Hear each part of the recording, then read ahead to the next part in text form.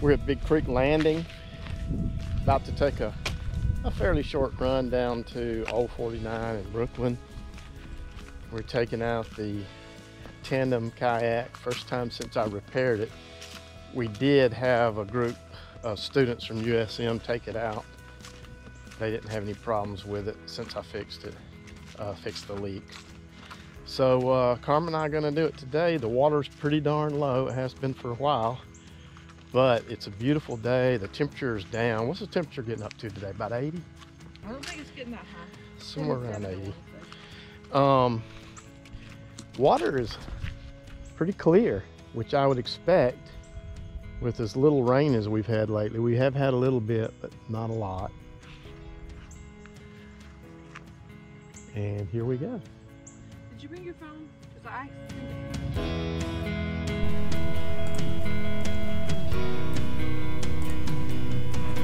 On October 14th, 2023, we took our tandem kayak out on Black Creek in South Mississippi, near Brooklyn, Mississippi. We picked a beautiful fall day, and the conditions were sunny and the temperature was in the upper 80s. Although the air temperature was great, the water had gotten pretty cold already. A couple we met along the river took a swim but said the water was freezing. We decided we would just try to stay dry for the most part.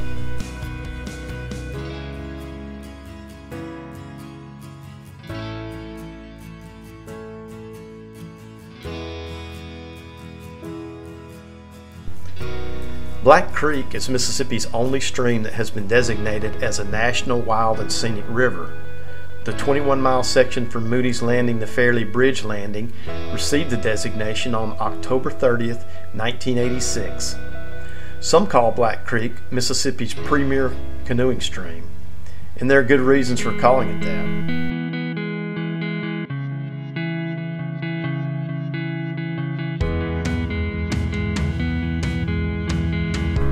Maps have Black Creek headwaters rising up just south of Mississippi Highway 42, southeast of Bassfield in Jefferson Davis County.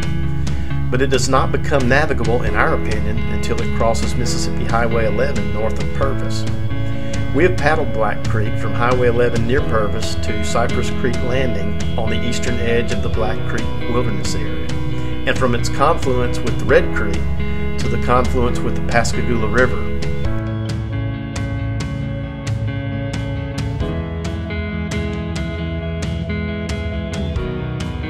Today, we decided to put in at Big Creek Landing and paddle to the old Highway 49 crossing in Brooklyn.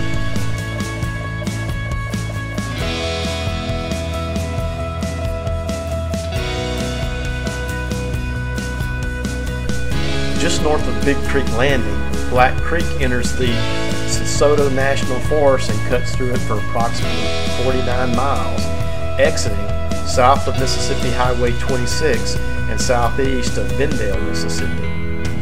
In the middle of the DeSoto National Forest, a little over 5,000 acres of forest have been designated as the Black Creek Wilderness Area.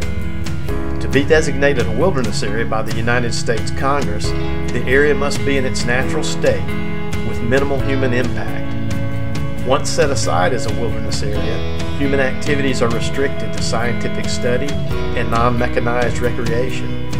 Motor vehicles of any sort are not permitted.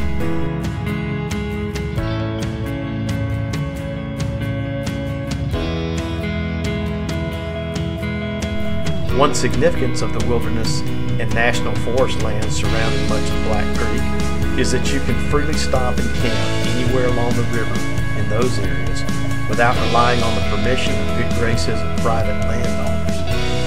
It is also a rare and satisfying experience to travel through forests that are largely in their primordial state.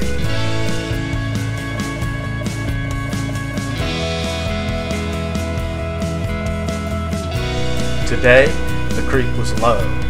It had hardly had any rain for several months, but the lack of rain also made the water clearer, allowing us to see through the water to the turtles and the fish.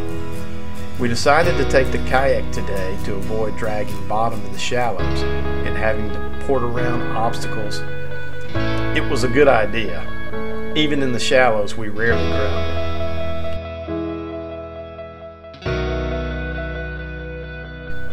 Along the way, we were able to spot a hawk that swept down across the creek just a few yards from our bow.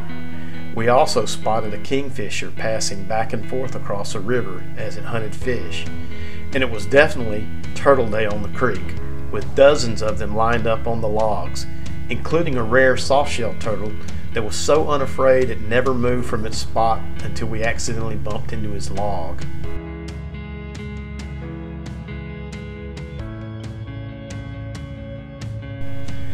All along the way, the creek was lined with thick forest. The leaves had not yet begun to turn colors in South Mississippi, and the frequent still pools of water reflected the greenery like a painter's palette. After only about two hours of sunshine, reflective waters, and the sounds of nature, we completed our journey and felt ready to meet the coming week.